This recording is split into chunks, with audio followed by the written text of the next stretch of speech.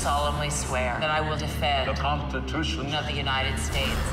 An agent of unknown identity to serve the vice president? John Case at your service.